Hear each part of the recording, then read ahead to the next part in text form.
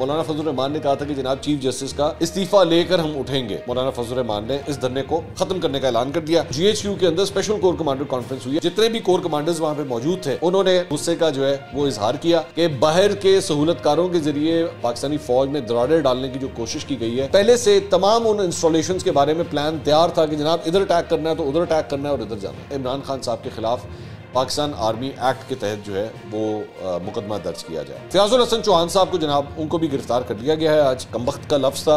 ये मरीम नवाज़ ने डायरेक्टली जजेस के हवाले से इस्तेमाल किया। असल नाजी मैं हूँ मंसूर अली खान, अपने डिजिटल चैनल के ऊपर आपको खुश आमदीद कहूँगा। आवाज़ अभी भी ठीक नहीं है, काफ़ी ख़राब है। अच्छा मैं ये कह तो देता हूँ, उसके बाद नीचे कमेंट्स के अंदर इतने लोगों के मुझे गेट वेल सून के और व्हाट्सएप के ऊपर मैसेजेस आना शुरू हो जाते हैं। आपका बहुत बहुत शुक्रिया। थैंक यू इन नए ख्वाहिशात का। इन जल्दी ठीक हो जाएगा। कहते हैं ये नज़ला ज़ुकाम एक दफ़ा आ जाए ना, फिर अपने वक्त के साथ ही जाता है। तो आप और मैं दोनों इंतज़ार करते हैं कि कब जल्दी जाके ठीक होगा। मुझे अपनी खुद आवाज़ सुनते हुए बड़ी प्रॉब्लम हो रही है तो आपको भी कितनी तकलीफ़ हो रही होगी, क्योंकि नेज़ल किस्म की खैर आवाज़ आ रही है। अच्छा एक तो थोड़ा सा सिर्फ़ बात कर लूँ, मैंने पिछले वी के अंदर भी ये कहा था कि मौलाना फजल रहमान की जानब से रेड जोन का जो आज एंट्री हुई है, और वहाँ पे उसके बाद तकरीरों का सिलसिला शुरू हुआ। मरीम नवाज़ ने वहाँ पे तकरीर की, मौलाना फजल रहमान ने वहाँ पे तकरीर की, और अब वहाँ पे क्राउड जो है, रात के वक्त जो है वो काफ़ी ज़्यादा हो गया। ख़ास तौर पे उन लोगों ने जो रात को सिर्फ़ क्राउड अपना दिखाने के लिए, जो एक नई टेक्निक शुरू हुई कि जनाब अपने मोबाइल फ़ोन्स को की लाइटें जो हैं वो ऑन करें ताकि उससे जो है ज़रा एक इफ़ेक्ट आता है और पता लगता है क्राउड का। तो काफ़ी बड़ा क्राउड जो है वो इकट्ठा किया गया मौलाना फजल रहमान की जानब से। अच्छा अब यहाँ पे अब पता नहीं इसको मैं यू टर्न कहूँ या क्या कहूँ। मौलाना फजल रहमान ने कहा था कि जनाब चीफ जस्टिस का इस्तीफ़ा लेकर हम उठेंगे। लेकिन आज ही जो है वो मौलाना फजल रहमान ने इस धरने को ख़त्म करने का ऐलान कर दिया और उन्होंने कहा जनाब कारकुन जो है वो अब वापस चले जाएँ। आपकी दोबारा ज़रूरत पड़ेगी तो आपको बुला लिया जाएगा। अब आ, हकीकत तो ये है अगर आप इसको इस परस्पेक्टिव से देखें कि उन्होंने जो अचीव करना था वो तो एक किस्म का अचीव हो गया। क्योंकि आज एक्सपेक्ट किया जा रहा था कि सुप्रीम कोर्ट की जानब से जनाब तोहन अदालत होगी, ये होगा, वो होगा, और उसके बाद जो है वो काफ़ी प्रॉब्लम्स हो सकती हैं। ऐसा कुछ नहीं हुआ। एक हफ़्ते आगे की जो है वो डेट पड़ गई है। लेकिन जो प्रॉब्लम स्टार्ट हो रही है, जो एक बड़ा मसला स्टार्ट हो रहा है, वो आ रहा है दूसरी जगह से इमरान खान साहब के लिए। आईएसपीआर की जानब से अब एक दूसरी प्रेस रिलीज़ सामने आई है। पहले एक 9 मई को प्रेस रिलीज़ आई थी, जो कि डायरेक्टली पाकिस्तान तरीके इंसाफ से कंसर्निंग थी। और अब ये जो दूसरी प्रेस रिलीज़ है ये भी डायरेक्टली पाकिस्तान तरीके इंसाफ से ही रिलेटेड है और इसमें आर्मी चीफ के हवाले से ज़िक्र किया गया जो ऑफिशियल प्रेस रिलीज़ है, मैं वर्ड टू वर्ड आपके सामने पढ़ता हूँ और इसको ज़रा मैं आपके सामने इसको ट्रांसलेट भी करके आपको बता देता हूँ। और इसके पस पर्दा जो एक्चुअली डायरेक्शंस बता रही है ये प्रेस रिलीज़ क्योंकि अल्फाज को आपको थोड़ा सा डिकोड करना पड़ता है। ये भी एक आर्ट है वैसे। तो वो डिकोड ज़रा मैं आपको करके दिखाता हूँ और आपको उसका बैकग्राउंड भी थोड़ा सा बताते हैं। ये जनाब ये प्रेस रिलीज़ सामने आपके।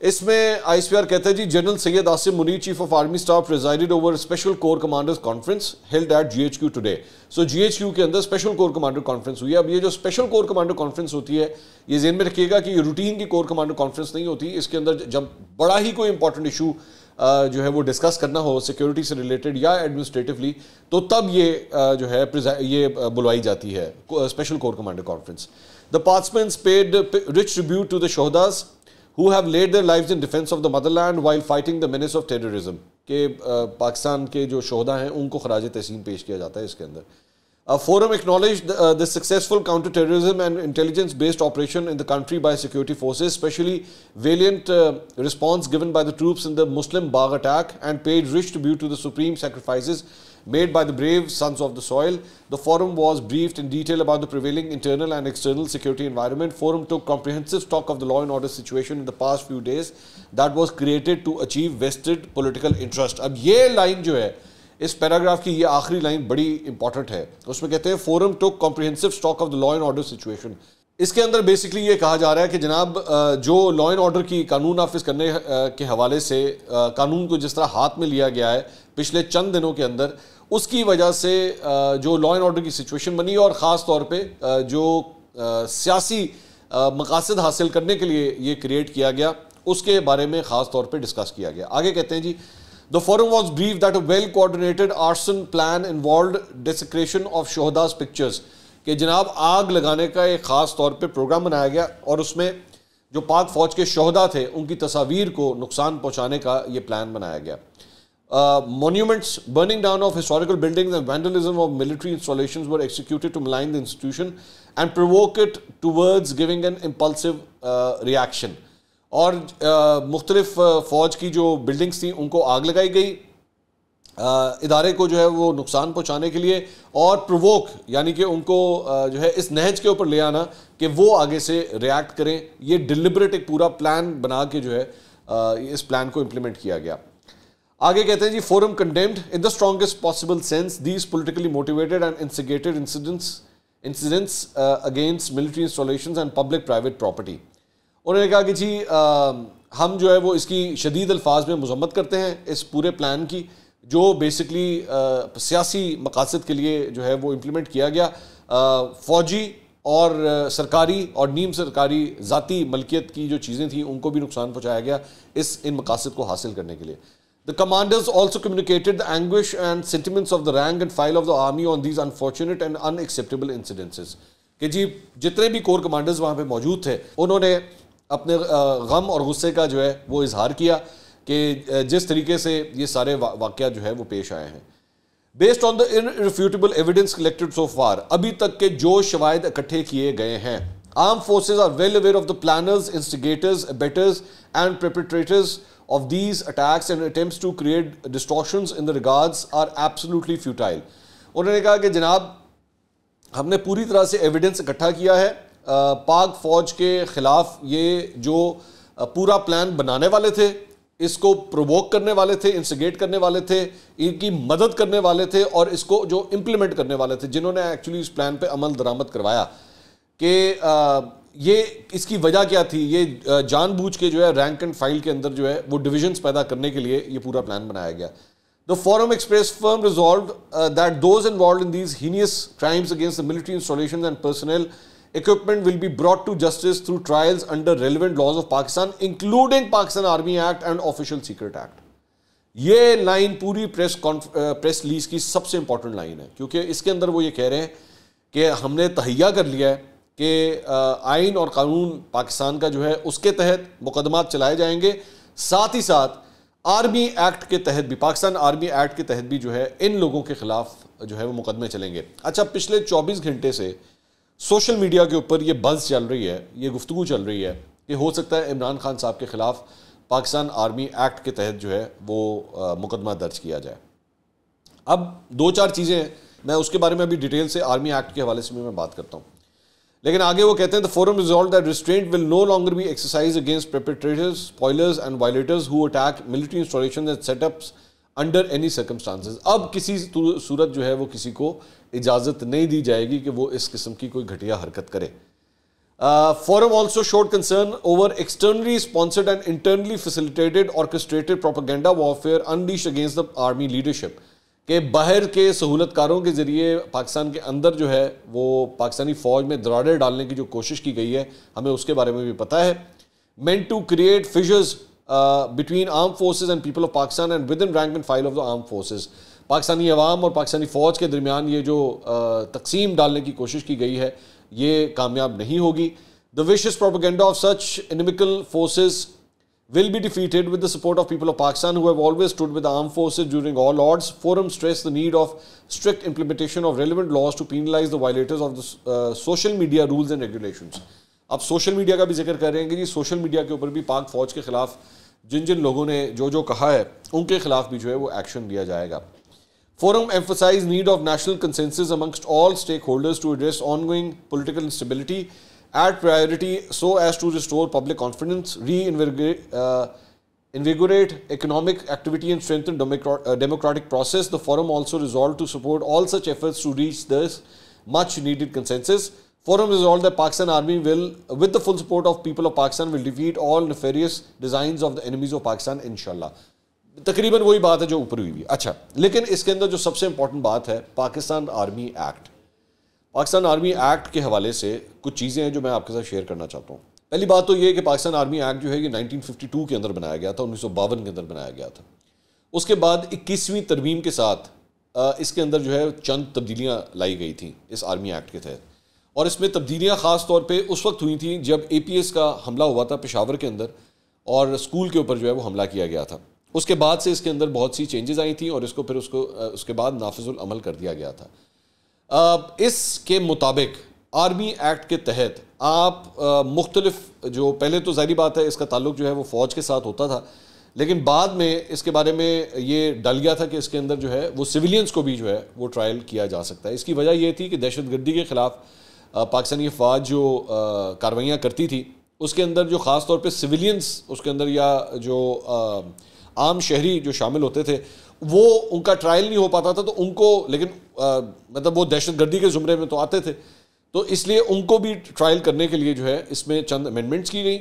उसके बाद उन अमेंडमेंट्स के बाद अब फ़ौज की किसी भी इंस्टॉलेशन के हवाले से आ, अगर आपने बल्कि मैं आपके साथ ये थोड़ा सा शेयर कर ही देता हूँ इसके अंदर कि इसके अंदर जो जो एग्जैक्टली मिलिट्री कोर्ट्स जो है, वो क्या क्या, किन किन वजूहत की बिना के ऊपर वो ट्रायल्स कर सकते हैं? अटैकिंग मिलिट्री ऑफिसर्स और इंस्टॉलेशन पाकिस्तानी अफवाज या उनकी तनसीबात के ऊपर हमला करने वाले के ख़िलाफ़ जो है, ये एक्शन लिया जा सकता है इसके तहत। किडनैपिंग फॉर रैंसम अगवा बर तावान। पोजेसिंग स्टोरिंग और transporting explosive firearms suicide jackets और अदर आर्टिकल्स दहशत गर्दी का ये सामान अगर आप कैरी कर रहे हैं, तब भी, और ये सारे सिविलियंस के लिए मैं बता रहा हूँ, आम शहरियों के लिए बता रहा हूँ तो आपके खिलाफ एक्शन हो सकता है। यूजिंग और designing vehicles for terrorist attacks दहशत गर्दी के लिए, काम करने के लिए अगर कोई व्हीकल आपने इस्तेमाल किए तो तब भी। कॉजिंग डेथ और इंजरी अगर आपकी वजह से कोई डेथ हुई है या इंजरी हुई है तो तब भी सिविलियंस का ट्रायल जो है वो आर्मी एक्ट के थ्रू हो सकता है। Possessing firearms design for terrorist attacks ऐसे हथियार अगर आपने बनाए हैं जो दहशत गर्दी की इन कार्रवाइयों में इस्तेमाल हो सकते हैं। Acting in any way to overawe the state और द जनरल पब्लिक अगर आपने कोई इस किस्म की हरकत की है कि पब्लिक का सेंटिमेंट जो है, वो रियासत पाकिस्तान के खिलाफ मोड़ने की कोशिश की जाए, तब भी आपके खिलाफ आर्मी एक्ट के तहत किसी सिविलियन का ट्रायल हो सकता है। क्रिएटिंग टेरर और इनसिक्योरिटी इन पाकिस्तान। मेरे ख्याल में तो काफ़ी मुझे एक्सप्लेन करने की ज़रूरत नहीं है। अगर आपकी वजह से दहशत फैले या आपकी वजह से इनसिक्योरिटी फैले मुल्क के अंदर तो तब भी आपका ट्रायल जो है वो किया जा सकता है। Attempting to commit any of the above listed acts within और आउटसाइड ऑफ़ पाकिस्तान पाकिस्तान के अंदर या बाहर अगर आपने कोई भी ऐसा कोई काम किया, तब भी आपका ये हो सकता है। प्रोवाइडिंग और receiving funding for any of the above listed acts अगर पैसे इकट्ठे करने के लिए जो है, अगर आपने कोई कार्रवाई की है दहशत गर्दी की तो तब भी इसमें वेजिंग वॉर अगेंस्ट स्टेट अगर आप रियासत पाकिस्तान के खिलाफ जंग का ऐलान करते हैं या जंग करते हैं तो तब ये आपके खिलाफ ये काम हो सकता है। अच्छा अब इसमें ये जो अमेंडमेंट्स थी, ये सनसेट क्लॉज के साथ आई थी। दो साल की सनसेट क्लॉज थी और दो साल के बाद इनको दोबारा रीएक्टिवेट जो है वो कर दिया जाता था। अब इसके तहत ये जो आर्मी एक्ट के तहत जो ट्रायल होता है, वो सीक्रेसी में होता है। वो जिस तरह आम session court, civil court, high court, supreme court में आप पब्लिक हेयरिंग्स होती हैं, आप खुद भी जाके देख सकते हैं। किसी की भी खिलाफ अगर कोई मुकदमा चल रहा हो तो आप देख सकते हैं। आर्मी एक्ट के तहत जो है, वो पब्लिक हेयरिंग्स नहीं होती सीक्रेट हेयरिंग्स होती हैं। अच्छा दूसरी बात ये कि इसके अंदर आपके पास जो अपील का हक होता है, वो एपलेट ट्रिब्यूनल एक बनता है और जिसकी सरबराही एक ब्रिगेडियर कर रहा होता है। वो उस ब्रिगेडियर के सामने आप जाके इसकी अपील कर सकते हैं। इसके अलावा आपके पास अपील का कहीं पे कोई हक नहीं है। हाँ एक बुनियाद के ऊपर आप अपील कर सकते हैं और वो ये है कि क्या आपके खिलाफ चलने वाला जो मुकदमा है, क्या वो आर्मी एक्ट के अंडर बनता है कि नहीं बनता? ये इस पॉइंट के ऊपर जो है वो आप ज़रूर जाके कोर्ट्स के अंदर अपील कर सकते हैं और हुए भी हैं। इससे पहले भी एक एक वाक़ पेश आया था पेशावर हाईकोर्ट के अंदर ये केस आया था जिसके अंदर एक सियासी कारकुन था। उसने ये प्ली ली थी कि जी मैं सियासी कारकुन हूँ, मेरा आर्मी एक्ट के तहत मुकदमा नहीं बनता। तो उसके अंदर पिशावर हाईकोर्ट ने उसके खिलाफ फैसला दिया था कि नहीं, आपका मुकदमा भी आर्मी एक्ट के तहत ही बनेगा। अच्छा दूसरी बात यह कि इंटरनेशनली इस आर्मी एक्ट के साथ या जिससे आप मैं चलें इसको आम अल्फाज में, फौजी अदालतें कह सकते हैं आप। ये आम तौर पे मार्शल लॉ के अंदर भी जो है, ये बहुत इंप्लीमेंट हुई थी। जियाउल साहब के दौर के अंदर भी बहुत सी इंप्लीमेंट हुई थी। इसके हवाले से जो इंटरनेशनल ऑर्गेनाइजेशन है ह्यूमन राइट्स की, वो इसको ज़्यादा पसंद नहीं करती। वो ये कहती हैं कि इंसान का जो बेसिक ह्यूमन राइट है कि आपका ओपन ट्रायल होना चाहिए, सारे सबूत आपके, सबके सामने होने चाहिए, ये उन तमाम राइट्स की जो है वो खिलाफ वर्जी करता है। पाकिस्तान के अंदर ख़ास तौर पर जो सियासी रहनुमा होते हैं, जो सियासी कारकुन होते हैं ह्यूमन राइट्स की जितनी ऑर्गेनाइजेशन हैं, वो ये समझती हैं कि सियासी कारकुनों को और सियासी रहनुमाओं को इन एक्ट्स के तहत जो है उनका ट्रायल नहीं होना चाहिए। उनका ट्रायल जो भी हो वो पब्लिक हेयरिंग के अंदर होना चाहिए civil court session court high court supreme court इसके अंदर इनकी हेयरिंग्स जो है वो होनी चाहिए। ये तरीका गलत है। आम तौर पर ऐसे कई ममालिक की मिसालें मौजूद हैं, जहाँ पे वहाँ पे भी फौजी अदालतों के अंदर सियासी रहनुमाओं की जो है वो मुकदमे सुने गए। लेकिन उनको ज़्यादा पसंद नहीं किया जाता, बल्कि उनसे नाखुशी का इजहार जो है वो किया जाता है कि ये कोई अच्छा एक्ट नहीं है।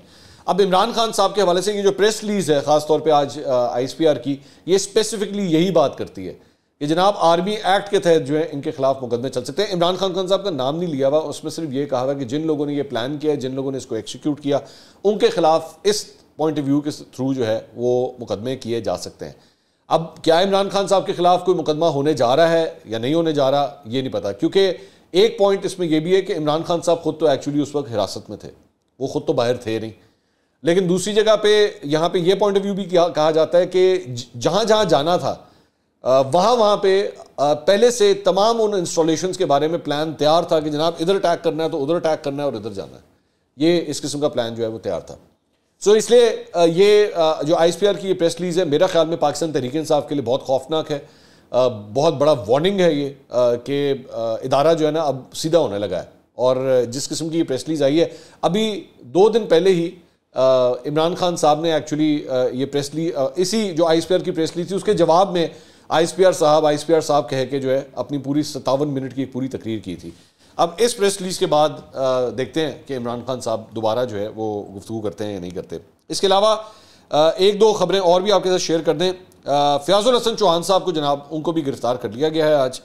लियाकत बाग के करीब निजी होटल के बाहर से उन्हें गिरफ़्तार किया गया। इसके अलावा शेख रशीद साहब की गिरफ्तारी के लिए पुलिस ने लाल हवेली में छापा मारा लेकिन शेख साहब जो है वहाँ पे नहीं थे।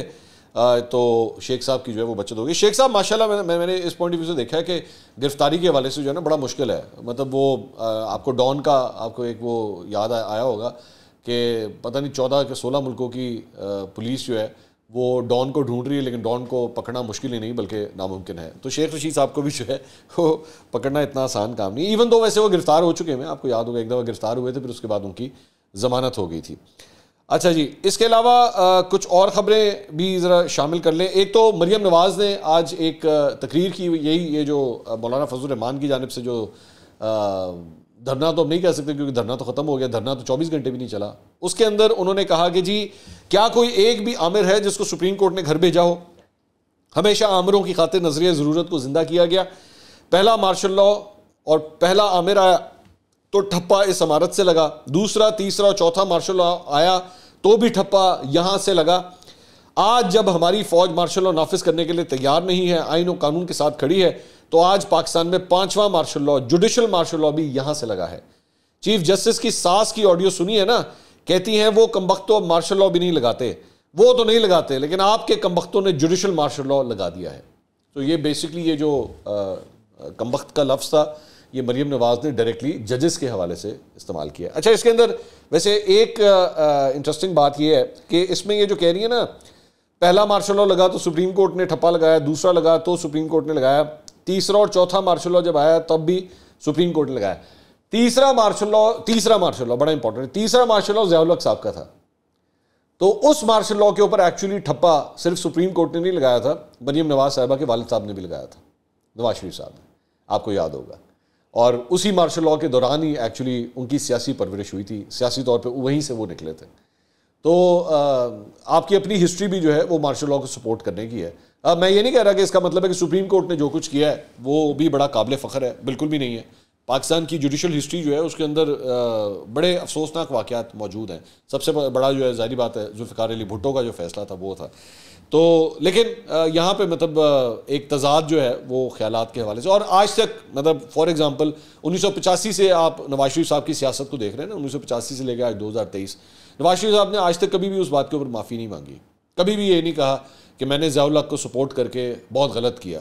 और जयाउल्ला की नर्सरी से सियासी तौर पर निकलना जो है मेरे लिए बायस शर्मिंदगी है। ये आज तक उन्होंने ये बात नहीं की, जबकि उनको कहनी चाहिए। क्योंकि उस वक्त उस वक्त आप जो है वो आपको और आपकी जमात को, आपके कारकुनों को, उस वक्त की आपकी आई जी आई जिस तरह बनी थी, वो मोहतरमा बेनज़ीर भुट्टो को काउंटर करने के लिए बनाई गई थी।